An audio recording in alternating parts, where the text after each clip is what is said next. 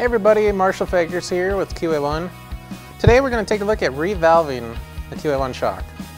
You only need a few basic tools including a ratchet, um, a caliper for measuring the shim thickness, and a tuning kit. Inside the tuning kit it walks you through step by step how to take apart the shock to get it to this point, how to revalve it, and then how to reassemble it. Uh, also in the kit is a valving chart which shows you the build code or the shim stack that you're going to need for each particular valving that you go with. So step one, we got the shock taken apart. We get down to the piston. I'm going to take our ratchet and loosen the nut on the top of the piston.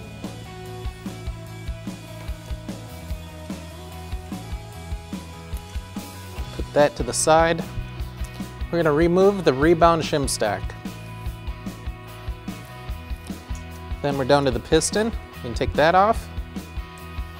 Then on the bottom here, we have the compression shim stack. So to revalve the shock, first you want to know what you're starting with for valving.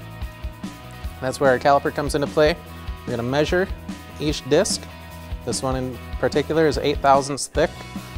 You want to measure the thickness and the diameter of each disc. Then referring to your tuning chart, or your build chart, you can figure out which discs you need to create a different kind of valving.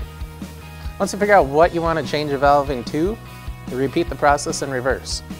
So we're going to start with our compression shim stack and measure the shim thickness to make sure they're what they should be. You want to start with the smallest diameter disc shim first.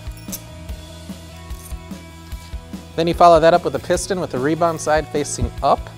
In the tuning manual, it shows you pictures of the piston and labels the compression rebound side.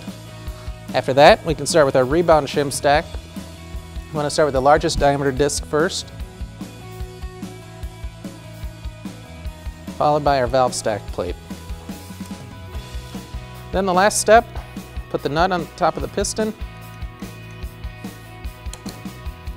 I'm going to tighten that down to 20 foot-pounds. As you can see, it's pretty simple and easy to revalve your shock. For more information, make sure to subscribe to our YouTube channel, QA1 Tech, check out our website, qa1.net.